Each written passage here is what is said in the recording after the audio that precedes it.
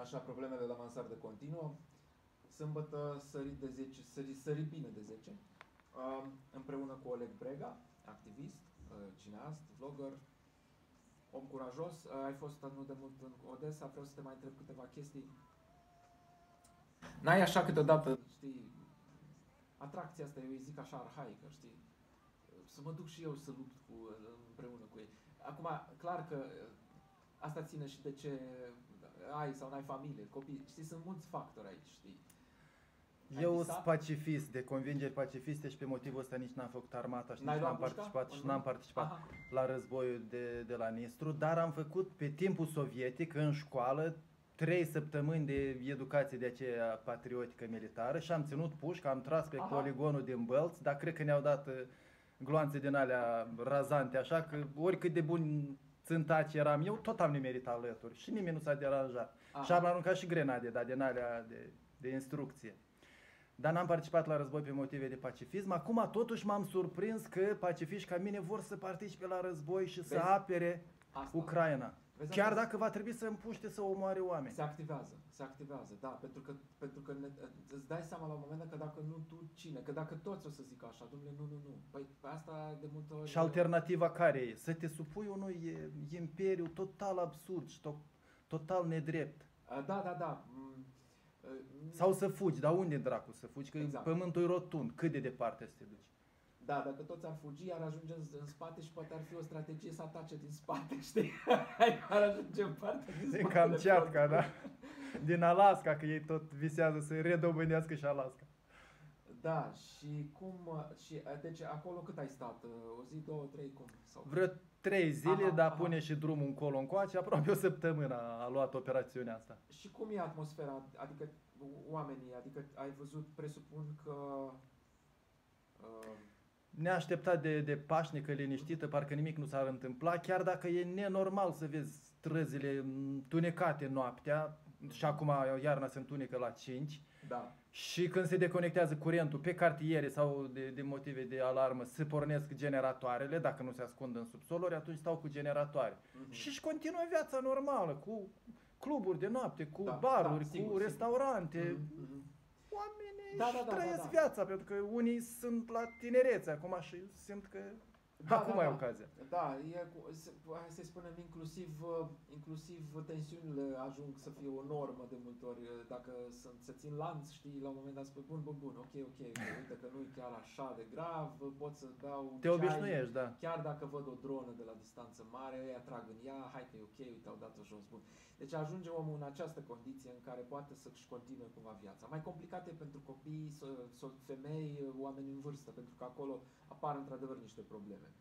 Da, Uh, și eu siguranța- lucrând iată de 11 luni la gară, ajutând uh, refugiații din Ucraina, văd femei care s-au săturat să coboare în uh, subsol, să urce iar și da, să da. se încălzească cu ce nimerește și Da. atunci au preferat să vină aici în exil, unde nu înțeleg limba, unde nu au destui bani, unde mănâncă de două ori pe zi, că atâta li Sigur, se da, dă, și sunt ajutați, da. dar măcar nu sunt în stresul de acolo că poate să cadă și bomba. Absolut. Iar uh, felul în care se declanșează dorința asta de a lupta, eu cel mai simplu și clar am văzut-o atunci când într-un interviu un uh, soldat ucrainean a spus ce, C- cum, care e faza? Adică ne-ați împins femeile și copii prin subterane, prin subsoluri, ne-ați despărțit familiile și ne-ați omorât. Iată oameni și eurocomisari ieri la Kiev s-au dus la summitul acela cu, cu Ucraina și au trebuit să se bage în subsol pentru că a fost alarma aeriană. Au simțit și ei pe pielea lor cum trăiește în fiecare zi Exact. locuitorul din Kiev sau din Ucraina. Da, și a- aici compasiunea joacă, evident că un rol fundamental într-un fel, pentru că altfel, dacă nu stai să simți tu, să înțelegi mai bine, că așa de la distanță vezi, ok, vezi la știri. Eu aveam imaginea aia, știi, că o să vină o vreme sau vine așa și se schimbă lucrurile, că te uiți la știri și la un moment dat un ochi dă pe geam și vezi că de fapt ce, ce vezi la știri se vede pe geam, știi? Adică e, e filmat din același unghi. E la știri un deal și se vede o, un, un o dâră de fum și tu de fapt vezi dealul la tine pe geam, că e dâra de fum. Deci se apropie cumva, aproape uh, simbolic toată povestea asta, că și, așa apare uh, sen- sentimentul ăsta că, păi, am greșit noi, uh, nu nu fiecare în parte, clar că vă spun, domnule, n-am nicio vină, eu personal. Ce treabă am eu, domnule, cu ce se întâmplă acolo? Așa Hai, îi aud domnule, pe Twitter în fiecare seară, pe Spaces vorbesc rușii care se consideră drepți, eventual plecați din țară și la noi ce vin avem? E smintitul ăla care Da, a dat ordine. Și da, fiecare are argumentele lui, într-adevăr, ok. Dar, per total, dacă te gândești cum anume și cum a, cât a durat și cum s-ar, dacă s-ar fi lucrat cum, într-un altfel, dacă ar fi avut, de exemplu, acel tip de preca, nu precauție sau grijă. Eu nici măcar nu îi spun precauție, eu îi spun un fel de logistică strategică pe termen. Adică, știi cum, politicienii și ei, cumva, la mine, ce puțin în, în imaginația, se împart în categorii de tip, sunt unii cu viziuni un pic mai, mai uh, dezvoltate, care au, pot înțelege mai bine cum anume și care ar fi consecințele unor pași pe care, le, pe care uh, făcuți, mă rog, de ei sau pe care urmează sau le pun. Și sunt cei care nu, nu înțeleg că, uite, consecințe, care ar fi consecințe. De asta e important să învățăm istoria, nu ca pe o știință despre care ne prezintă domnitorii și bătăliile lor glorioase, ci ca o sumă de greșeli din care societatea, comunitatea sau umanitatea trebuie să învețe. Trebuia să identifice imediat nazismul sau fascismul în discursurile lui Putin care nega dreptul la existența unei etnii și a unei țări. Păi și dacă ar Ce fi ăsta e depis- discurs? Și, păi da, dar cum? Bun, ok, ai depistat, ai observat și... Să vorbească în gura mare că ăsta e nazismul, nu cum zic ei, că mergem să de- denazificăm. Pentru că a Da, ajuns da. acum nazismul să meargă la denazificare. Exact, da, tocmai, că e ca Și o unii boală. cred că chiar uh, jidofasciștii sunt ucrainenii. Da, nu ei- cei care vin cu bomba, cu, cu pretința denazificare. Exact, prin propagandă, practic, propaganda primitivă care practic îți uh, arată, îți indică dușmanul, îți spune că din cauza lui toate suferințele și chinuiala și că ei uh, așa... Și atunci, Pe mine războiul m-a prins în Portugalia, eram la mama și vedeam acolo la, la canalele lor, vedeam televiziuni rusești cu propaganda lui Soloviov și a lui fata aceea cu nume armean. Aia- și mă înfuriam cum de e posibil în Europa să permiți așa mizerie, așa, așa minciuni, Ha. incitare la ură și Ei. la crimă și la genocid. ce atâta mirare. Abia după aceea, în în primele săptămâni de război, s-a interzis și Russia Today și Pervy Canal sau E- care era acolo. Exact, e șocant când vezi că crima nu e în gang, iese din gang și ajunge la pupitru. Știi, asta e problema cea mai mare, de, de asta e șocant. Când Și de dragul democrației, e acceptată Da. de dragul diversității, a libertății de exprimare. Da, cumva, cumva uh, ajungi să înțelegi că acolo s-a petrecut o mare, o mare tragedie, de fapt, în esență, pentru că ea a fost ca o, hai să spunem, picătura rusească, da? Așa cum există picătura chinezească, pot să spun, putem spune picătura rusească, care a, mo- a fost, uh, care pas cu pas, uh, m, Kremlinul și oamenii de acolo, grupurile de acolo, i-au înlăturat în toate modurile uh, și prin crimă, dar și prin pușcărie, pe toți cei care aveau niște viziuni diferite și care încercau să zică, domnule, hai să ne ocupăm de țara noastră, hai să ne ocupăm de oamenii noștri, hai să dăm, să facem să fie bine, avem cu ce, avem resurse, avem tot. Nu trebuie, nu ne mai trebuie nimic în plus, avem tot. Oh, ăia au fost nimiciți. Ăia care încă au fost, au rămas, dar încă nu erau siguri ce se întâmplă. Cum au fost și primele interviuri, țin minte, cu Putin care stătea la masă cu mai știu ce reprezentant de la ei, de nu știu ce, care s-a bâlbuit așa, de, de, de numărate ori. Și Putin spune, nu, nu, nu, nu, ia mai repet Exact atitudine de pușcărie, de, de ierarhie din pușcărie, când vin unii încă nu sunt foarte obișnuiți și ăsta îi dictează, cum să zică. Dar spre deosebire de Germania nazistă sau de Uniunea Sovietică, acum nu e nevoie de neapărat de dizident sau de samizdat, pentru că acum avem internet, acum Da. putem să ajungem la fiecare rus, la Acum aveți tot fiecare mai puțin. complice, Acum tot mai puțin. tot mai puțin, dar încă nu-s Coreea de Nord, nu-s China care controlează totul. Da, dar pare că se rostogolește ușor așa încolo. Ba, Din, chiar. contra, din contra, de acolo vine o travă, se bagă pe internet tot felul de grupuri de, de manipulare și de dezinformare, care iată a produs victima Ungaria, a produs victime Uh, O travă, o travă, dar asta vorbește despre o anumită situație și psihică a oameni, a populațiilor în mari.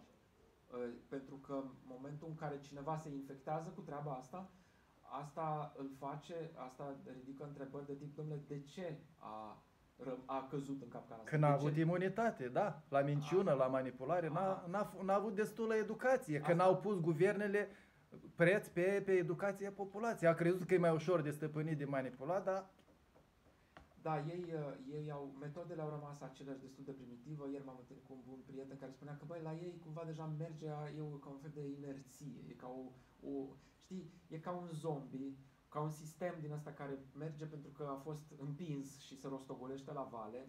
E clar că se rostogolește la vale ca un bolovan uriaș.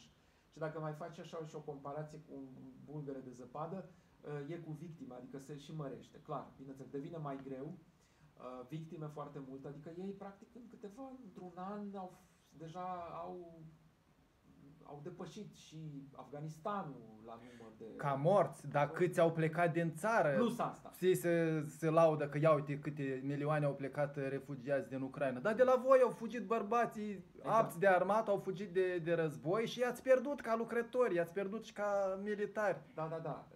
Deci se scufundă într-o criză și internă, provoacă criză în extern și în jur. Într-un anume sens putem spune că e și un fel de palmă dată, știi, celui care avea impresia că totul e ok și că el a rezolvat, că a dat, el a făcut deal și a făcut uh, cândva, uh, undeva acolo în trecut, a dat mâna și când cineva spunea, băi, ai grijă, uite, nu te lega, că uite, asta, vezi mașina lui, da, văd, ai văzut că are un fir de sânge din portbagaj?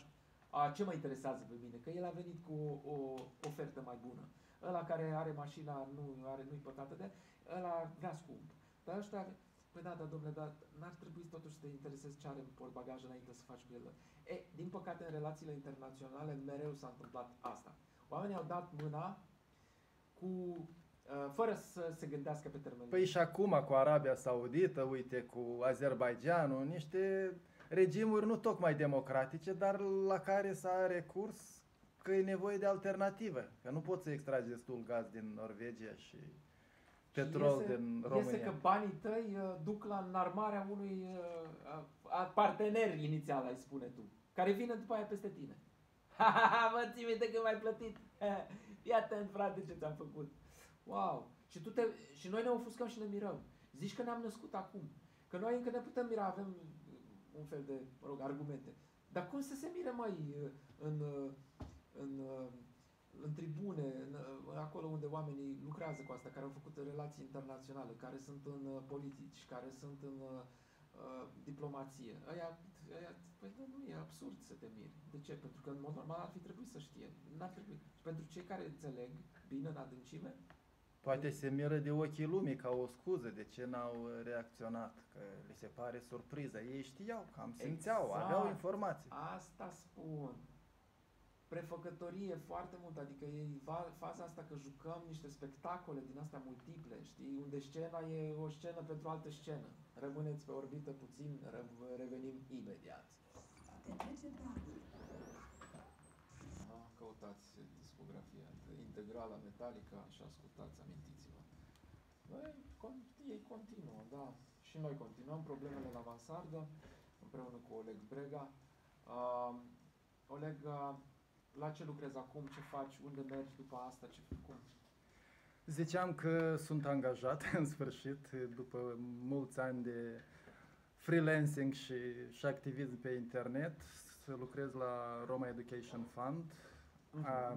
De 11 luni stau la gara de nord București și întâmpin uh, refugiații, persoanele refugiate, cât mai mult femei cu copii și îi ajut să-și găsească cazare, loc de muncă, bilet în altă parte și tot așa. Acum trebuie să merg să întâmpin o familie și să-i ajut să se cazeze în sectorul 4. Nu se descurcă, unii vin de la țară, unii vin din alt oraș, n-au mers da. niciodată cu metrou sau cu tramvaiul, mhm. nu știu să citească literele noastre da. sau unii nu știu să citească deloc pentru că lucrez mai ales cu romii și unii sunt chiar analfabeți și aici la noi și dincolo în Ucraina. Uh-huh. Și e mai greu.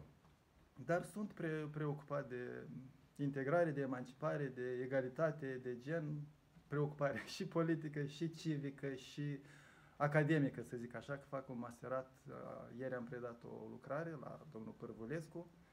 Am scris despre societatea civilă și interacționarea lor cu autoritățile de regiunea Odessa, pentru că vreau să fac și teza de disertație despre uh, refugiați și deci, iată, ocupat full-time. Da, ce să zic, e impresionant și chiar sunt curios. Ce crezi că a determinat această um, trăsătură sau acest tip al tău de a fi, felul tău de a fi, nu tip, da, felul tău anume de a faci asta și a- atâtea cumva și complexe, complicate lucruri cu oamenii, ajutor, ce crezi că a determinat, dincolo de faptul că tu ești sau nu ești angajat, lucrezi sau nu câștigi sau nu câștigi, dincolo de asta, ce crezi că a determinat asta? Poate fi și ceva genetic, dar mai degrabă e educație, e cultură. Am moștenit această empatie și atitudine, grijulie față de semenul tău de la părinții mei, care și tata și mama erau mereu deschiși să ajute. Mama era soră medicală, tata era constructor. Um, și cred că de, de acolo vine din familie dorința de a fi util, de a fi implicat, de a ajuta. Și curajul, probabil curajul am de la bunicii mei, cel puțin unul dintre bunici, am mai povestit și cu alte ocazii cazul ăsta, am lucrat o lună poștaș în sat și a trecut o mașină pe lângă mine, m-a stropit din cap până în picioare, m-am dus la bunici, dați vă rog ceva să mă spăl, să mă schimb. Nu, a zis bunicul. M-a luat așa murdar cum eram, m-a dus la primărie sau Selsoviet ce era atunci, a găsit miliția și a făcut un denunț, ia uite ce a făcut băietului meu. și am învățat justiție de la el, băi tate, dar se poate altfel decât să fii umil și să te împaci cu soarta. Să faci pe ăla să nu-i mai străpească și pe alții. Nu numai Corect, pe- exact. Și pe mine putea să mă stropească altă dată dacă continua să șofeze. Și poate a continua, dar dacă se mai găsea unul ca bunicul meu sau eu repetam fapta bunicului, iată se impunea dreptate în lume și în asta continui să cred, iată, la etatea mea înaintată. Da, pornind așa cumva de la drepturile, lupta pentru drepturile tale automat înseamnă și drup- lupta pentru drepturile celorlalți. Ca să funcționeze legea pentru toți. Da, da, așa ar fi, uh, știi, ajungem la parabola cu undița și peștere, știi, domne, ce Trebuie să de-a înveți meu? omul să prindă Exact, pește. Na, exact. eu vegan fiind deja al șaptele an, Oh, nu plus prea asta. prind pește. Wow, wow. Și apropo chiar, pentru că sunt multe discuții și despre asta, domne, energia asta un pic, dar tu vegan-vegan, adică niciun fel de carne sau cum? Nici lapte, nici ouă. Și ce, Pentru că asta, o fac asta din motive etice și Aha, ecologice, aha. pentru că îmi pasă de animalele celea. cât Dacă timp ai în asta? Al șaptelea an, de când m-am mutat în România. Extraordinar. Nu știu, m, așa ascultând și văzând, știind ce faci și într-adevăr uh, urmărind de mult timp activitățile tale, eu vreau să spun că sunt impresionat, sincer. Pentru că mie îmi pare că, știi, așa teoretic, na, la teorie suntem buni mulți. Dar tu ești exact cumva exponentul, sau mă rog, reprezentantul acelui, ace, acelei categorii uh, care Da, mi se practice- pare mai practice ușor what de... you preach, știi? Da, Adică ești exact. Îmi foarte pare mai aproape. convingător când prin propriul exemplu promovezi ceva decât să doar zici ca popa și să faci altfel. Da, da, asta, asta este foarte important, uh, să și faci ce spui sau să și, sau, mă rog, să trăiești uh, pornind de la chestiunile pe care le expui sau cum. Uh, dar, uh, știi, de multe ori unele se, uh, ele se și ajută de multe ori, că uh, sunt situațiile în care ne facem curaj. De exemplu, zicem, de mâine, celebru, de mâine mă apuc de treabă, de mâine mă apuc de sport, de mâine, știi? Și dacă fă- spui asta în fiecare zi, e, se poate întâmpla într-o zi chiar să Și eu mult timp am, am fost, ca să zic așa, vegetarian sau vegan amator, nu prea cumpăram produse din astea, evitam să le mănânc și doar când mă duceam mă pri, în ospăție la părinți și mă primeau cu astfel de mâncare, nu o refuzam. Acum am curajul să refuz.